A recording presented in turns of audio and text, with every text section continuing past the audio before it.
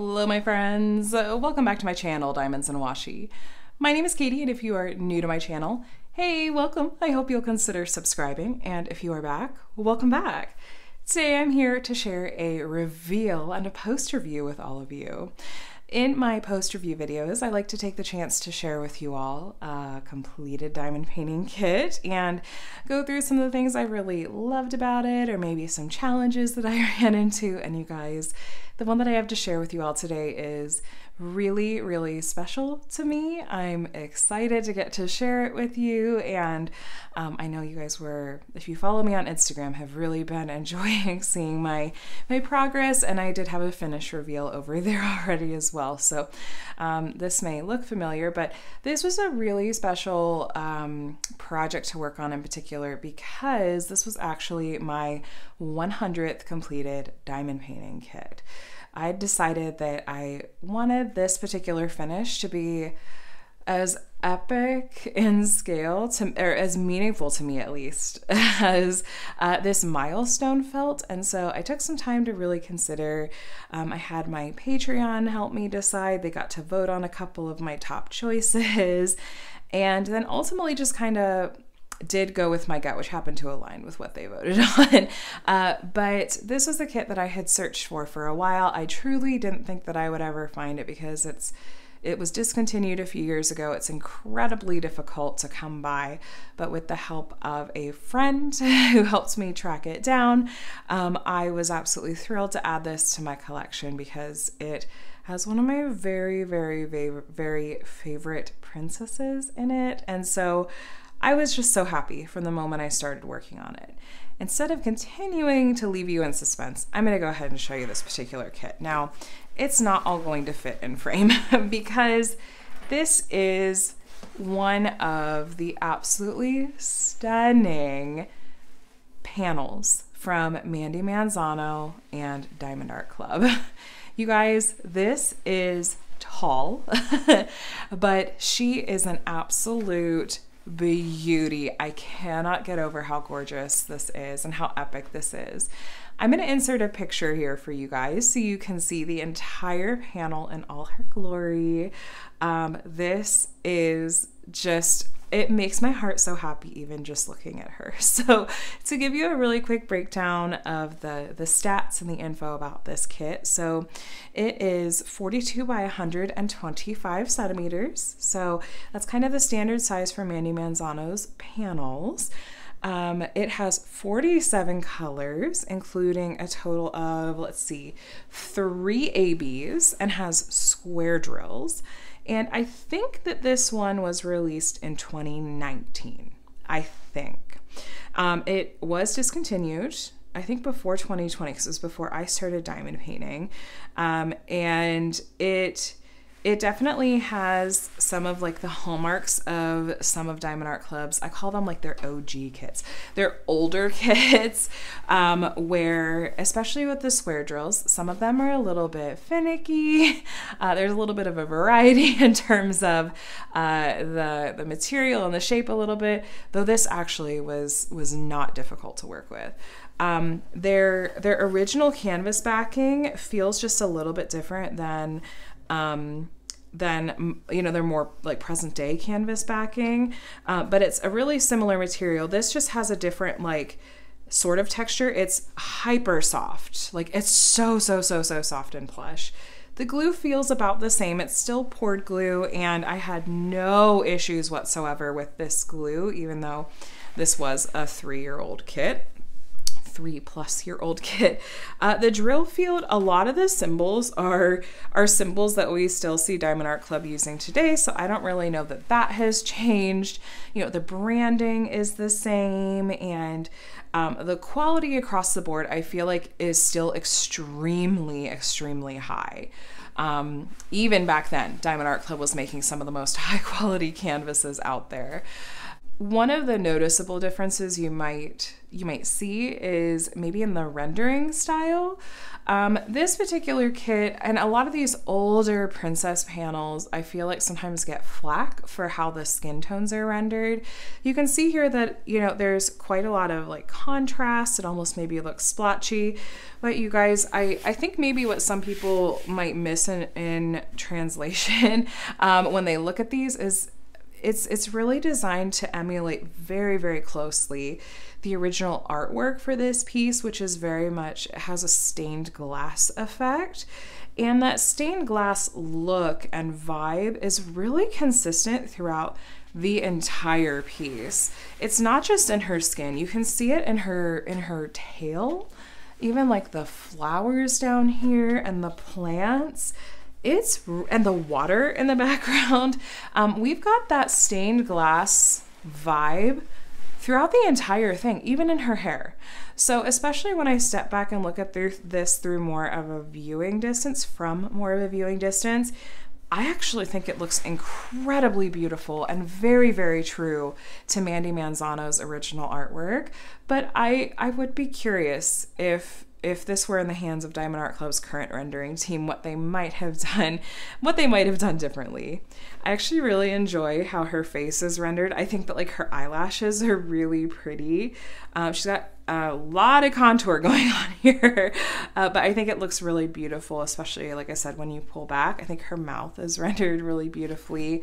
Um, there's some ABs in here actually. The white AB is pretty sparing in this kit, but there is some here in her in her teeth.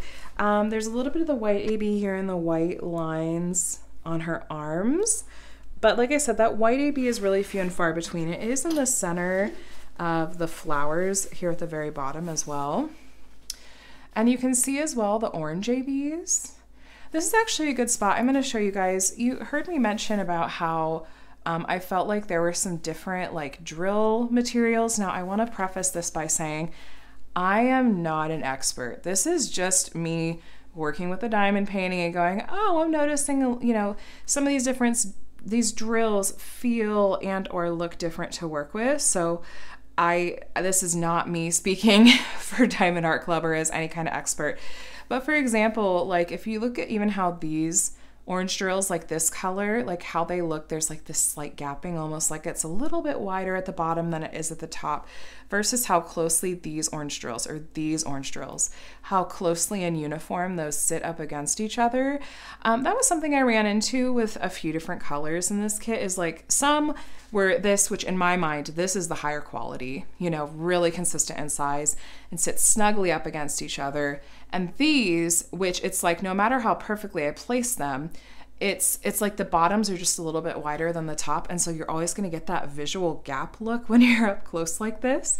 I'll show you there was some in the skin tones as well, but I just wanted to point out that there was that difference. Um, thankfully, the drills were not generally difficult to work with, even though I noticed those differences and kind of maybe the drills themselves. So, like some colors look like maybe they, I don't know, they just looked different than others. Um, there was still actually not too much in the way of trash. I didn't really have issues with the, the 310, which is what I was honestly most nervous about. Uh, there was some trash, but honestly, there are, are present day companies that their black drills are much, much worse than these were. So um, I was thankful to not have issues with these. Um, if you look, here's a good spot like in her skin tone, or actually let me bring you down. That'll be easier than pulling you. So here's a spot where you can really see again, there's almost like this visual separation between these drills, both of these colors. But then some of these colors do sit up a little bit more snugly to one another. Actually, there's a lot in here that kind of sit further apart, but then you get up and even like the black doesn't have as bad a gapping and like this purple is nice and stuff like that. So you've got that going on. And then let me show you a few other different areas. Here is the blue AB that was in this kit. And you guys, I actually really enjoyed working with this AB. Um, I was showing it to a couple of fellow like seasoned diamond painters and being like, don't these blue ABs almost look different? Like the coating and how they were done almost looks different from the the ABs that Diamond Art Club puts out now, and it was interesting. And I was like, I almost kind of prefer working with with these blue ABs in some ways, but the blue ABs were just like in the in the water in the background, and I thought were a pretty a pretty addition because you know water can kind of shimmer like that. Um, and then we had some of these white ABs, like I mentioned, we have them in her mouth, and here's her really pretty. I like her eyelashes, like I said, and then her hair you guys, her hair was on fire. I loved it. Uh, this is where the um, most of the orange AB would be found. Uh, there was some of the orange AB when we were just looking at the very bottom at those flowers again, but most of it is definitely in her hair, and I thought was a really, really fun addition. I love the color blending in her hair. It just, I feel like it suited her so well, and I, I really, really enjoyed how they did that. Um, and I did have leftovers in all of these ABs and all the colors actually, which let me take you back out and I'll show you I'll show you the drills that I have left over. So I did have plenty left over in all of the colors. Don't mind the random trash that I let accumulate here in the bottom corner. But there's all the diamonds. There's those blue ABs that I was talking about that I was like, oh, I kind of like how those are. I did have some static in some of my drills. So um, I've always said that static I feel like is pretty weather dependent. Um, but yeah, so it was a really fun color spread. Interestingly enough, and this, how, how, they had done like the legend and the color list down here, for some reason, we did have these first two ABs at the top, like numbers one and two. But then this last AB was at the end of the list, like number 47. And I was very confused at first, but I ended up just because visually, I, and I don't know myself, I just expect uh, the ABs to all be together here at the top. So I just put these in DMC order rather than, you know, this number order. So anyway, um, I don't know that I'll necessarily be saving these diamonds because, except for the ABs, uh, because they were a little bit like less less high quality than I've come to expect from like present day Diamond Art Club. They've made so many improvements with their square drills that it's like I don't I don't need to save those when I already know that I can have some much, much, much better quality um, materials and just like whatever molds they're using now, whatever their process is now. I much prefer their the square drills that they have today versus what they used when they made this kit three years ago. uh, so all in all, I have to say that as nervous as I was about pulling out and working on um, an older kit and just what I feel like I had heard um, from other people about just like, oh, those were just difficult to work on. And um, like I know Lindsay at Emeralds and Fairy Lights recently completed one of her Unicorn Princess panels. She did the Lost Princess.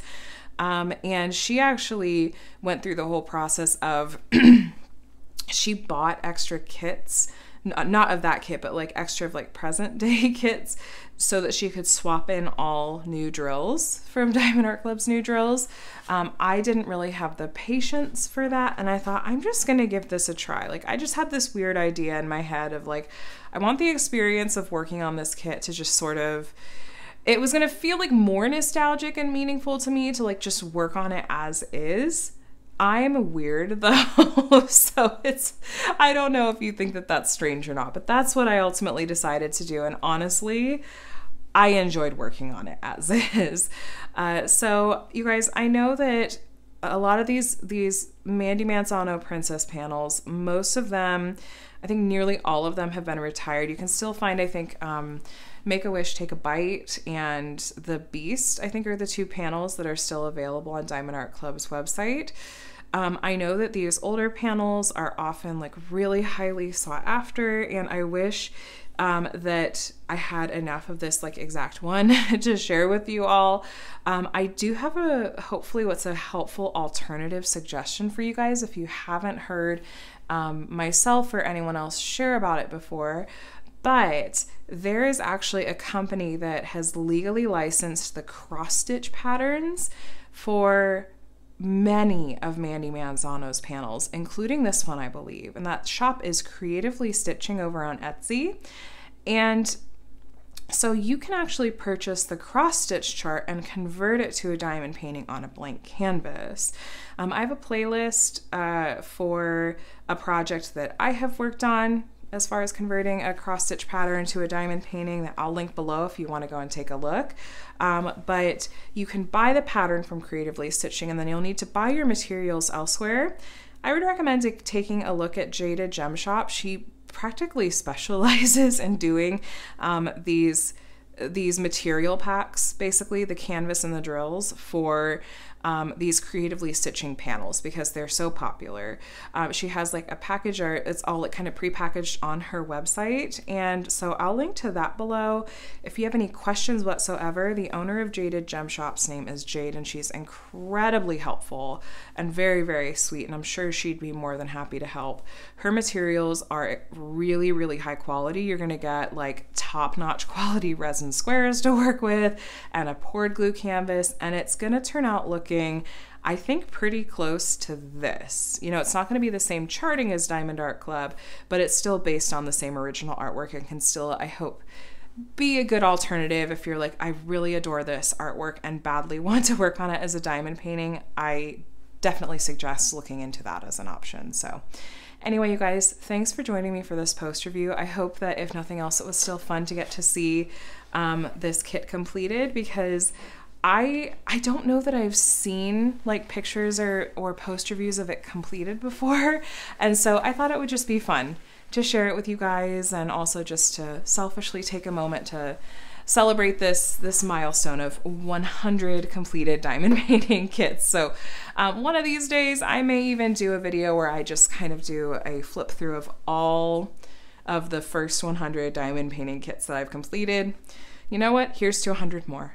so, um, if you want to stay on this journey with me or join me on this journey, or if you're not on it with me already, and see me work on these next 100 diamond painting kits over the next however many years, months it takes, feel free to subscribe. You can hit the button just down here, and there's also a bell you can hit to be notified when I share new videos. But yeah, I love to have you have you join me on this on this fun crafting journey. So, thanks so much for watching, you guys. If you wouldn't mind hitting the thumbs up on your way out, I would would super appreciate it. But otherwise, I'm going to go ahead and let you go.